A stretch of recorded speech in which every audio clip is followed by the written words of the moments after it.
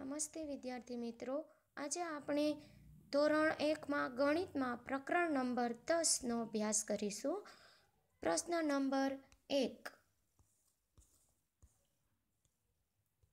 પ્રશ્ન નંબર એક, પેટર્ન આગળ વધારો. જેમાં આપણે આગળ શીખી ગયા છે કે પેટર્ન એટલે કે ભાત એને કેવી રીતે આગળ વધારવી? જેમ કે ટી સીધો આપેલો છે ત્યાર પછી ઉલટો, ત્યાર પછી સીધો અને ત્યાર પછી ઉલટો આપેલો છે. એવી રીતે આખી લાઈન પૂર્ણ કરવાની છે. ત્યાર પછી બીજી પેટર્ન છે, બે સીધા લીટા, એક ગોળ, બે સીધા લીટા અને એક ગોળ. આવી રીતે આખી લાઈન પૂર્ણ કરવાની છે. ત્યાર પછીની પેટર્ન છે, ઉલટો ટી અને ઉપર એરો પાછો સીધો ટી અને નીચે એરો એવી જ રીતે આખી લાઈન પૂરી કરવાની છે.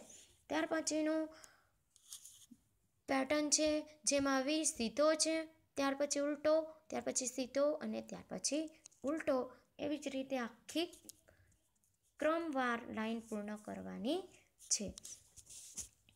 ત્યાર પછીના પેટર્નમાં બે ગોળ, એક લંબચોરસ. બે ગોળ અને એક લંબચોરસ. એવી રીતે લાઈન પૂર્ણ કરો. ત્યાર પછીની પેટર્નમાં એક કેરી, એક સફરજન કેરી અને સફરજનનું ચિત્ર છે. એવી રીતે લાઈન પૂર્ણ કરો.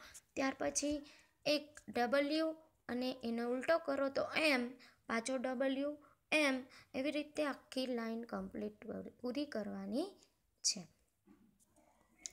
ત્યાર પછીનો પ્રશ્ન નંબર બે.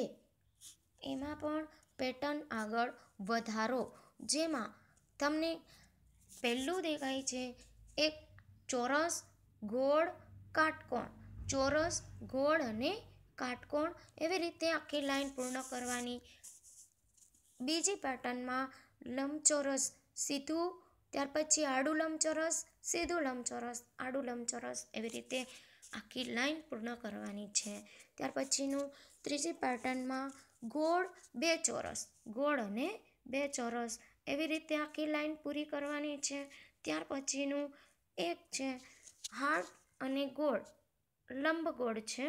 હાર્ટ અને લંબગોળ એવી રીતે આખું લાઈન પૂર્ણ કરવાની છે. ત્યાર પછીની પેટર્ન છે.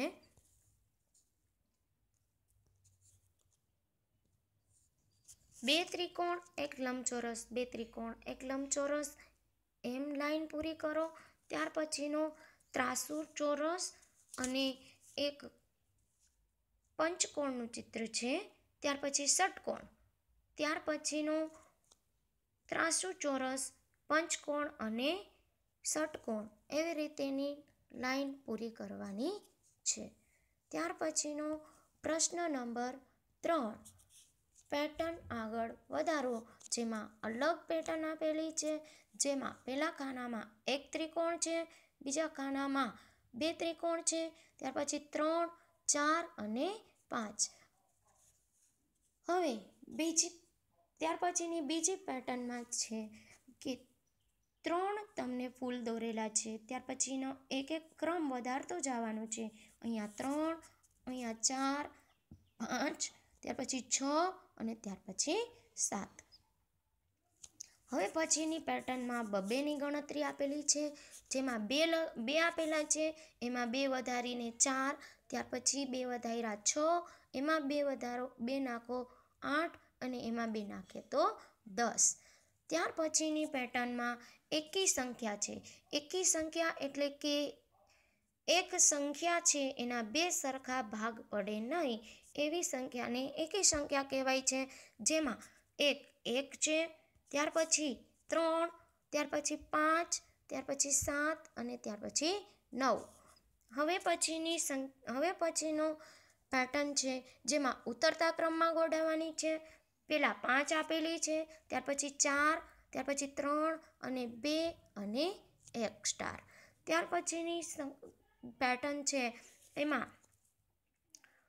ચડતા ક્રમમાં દિવાસળી ગોઠવવાની છે, તો એક, ત્યાર પછી બે, ત્યાર પછી ત્રણ, ચાર અને પાંચ.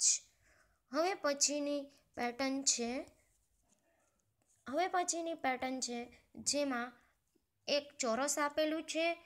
એના પછી આગળ આપણે એના પર અર્ધ ગોળ કરેલું છે. ત્યાર પછીના ચોરસમાં બે બાજુ અર્ધગોળ છે, ત્યાર પછીના ચોરસમાં ત્રણ બાજુ અર્ધગોળ છે અને ત્યાર પછીના ચોરસમાં ચાર બાજુ અર્ધગોળ કરેલું છે. હવે પછીનો પ્રશ્ન નંબર ચાર. પેટર્નમાં ક્રમ મુજબ શું આવશે તે લખો. હવે એમાં પહેલું છે જેમાં ગોળ કરેલું છે, ત્યાર પછી સૂર્યનું ચિત્ર છે, ત્યાર પછી ગોળ, સૂર્ય, ત્યાર પછી આગળ એવી જ રીતે વધારવાનું છે. ત્યાર પછી બીજી પેટર્ન છે જેમાં અર્ધગોળ આપેલા છે પહેલાં સીધું પછી ઉલટું, પછી સીધું, પછી ઉલટું. એવી રીતે આખી લાઈન પૂરી કરવાની છે. અહીંયાની પેટર્ન છે, જેમાં તિલક અને સીધી લીટી અને ગોળ આવું કરેલું છે, જેને આપણે આગળ વધારવાની છે. ક્રમ પ્રમાણે શું આવશે તેને દોરવાનું છે. ત્યાર પછીની પેટર્નમાં ફૂલ અને એક પાન, ફૂલ અને એક પાન. આવી રીતેની પેટર્નમાં જે આગળ આવતું હોય એને આપણે દોરવાનું છે. ત્યાર પછીની પેટર્નમાં પહેલા ખાનામાં જોઈશું તો ખાલી ઢાગલાને ગોળ કરેલું છે, ત્યાર પછી સ્માઇલી ત્યાર પછી ગોળ સ્માઇલ એવી જ રીતે આગળ વધારવાનું છે. ત્યાર પછીની પેટર્નમાં આપણે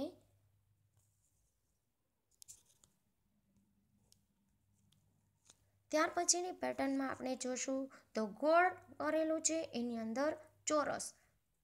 પછી બીજું છે, એમાં ચોરસ કરેલું છે, એની અંદર ગોળ. ત્યાર પછી ગોળ, એની અંદર ચોરસ અને ચોરસ, એની અંદર ગોળ. એવી જ રીતે આપણે આગળ વધારવાના છે. ત્યાર પછીની પેટર્નમાં અહીંયા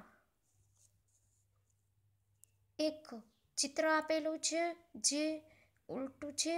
ત્યાર પછી તિલક ત્યાર પછી ઉલટું ચિત્ર છે ત્યાર પછી તિલકનું ચિત્ર છે. આવી